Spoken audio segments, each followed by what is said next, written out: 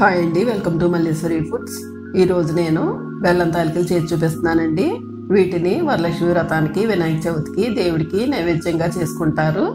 చాలా ఈజీగా చేసేసుకోవచ్చు. ఇక లేట్ చేయకుండా ఈ బెల్లం తాలికల్ని ఎలా చేసుకోవాలో చూసేద్దాం.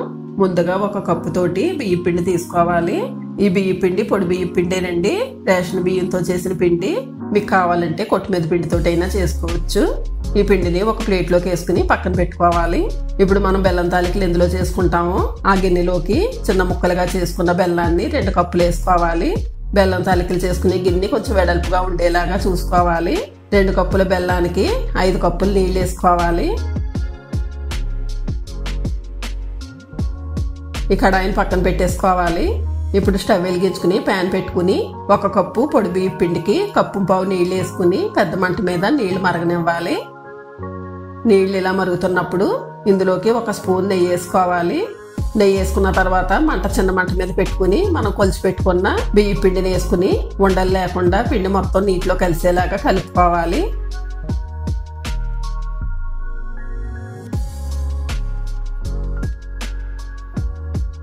నీటిలో పిండి బాగా కలిసిన తర్వాత చిన్న మంట మీదే మూత పెట్టి రెండు నిమిషాలు మగ్గనివ్వాలండి. తక్కువ పిండి కాబట్టి రెండు నిమిషాలు మగ్గితే సరిపోద్ది. ఎక్కువ పిండి అయితే ఐదు నిమిషాల పాటు మగ్గనివ్వాలి. ఇలా మగ్గిన తర్వాత ఈ పిండిని మొత్తాన్ని ఒకసారి కలుపుకోవాలి. ఇప్పుడు స్టవ్ కట్టేసుకుని మూత కొద్దిగా ఖాళీగా పెట్టి పిండిని పూర్తిగా చల్లారనివ్వాలి. పిండి బాగా చల్లారిందండి. ఇది ఒకసారి మొత్తం అంతా కలుపుకుని చపాతీ ముద్దలాగా చేసుకుని పక్కన పెట్టుకోవాలి.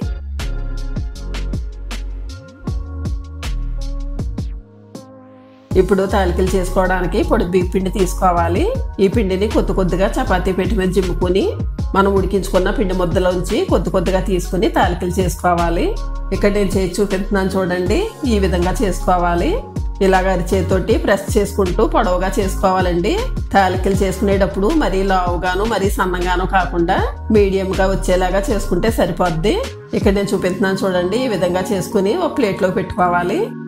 ఈ పిండి ముద్ద మొత్తాన్ని పొడిపిండి జిమ్ముకుంటూ కొద్ది కొద్దిగా పిండిని తీసుకుని తాలికలు చేసుకుని పెట్టుకోవాలి. పిండి ముద్ద మొత్తం ఇలా తాలికలు చేసేసుకున్న తర్వాత ఈ తాలికలన్నీ ఒకటికొకటి అంటుకోకుండా కొద్దిగా పొడి బియ్య పిండి జిమ్ముకుని పక్కన పెట్టుకోవాలి. ముందు మనం బెల్లం ముక్కల్లో నీళ్ళు వేసుకుని పెట్టుకున్నాం కదండి ఆ కడాయిని స్టవ్ వెలిగించి స్టవ్ మీద పెట్టుకుని బెల్లాన్ని కరగనివ్వాలి.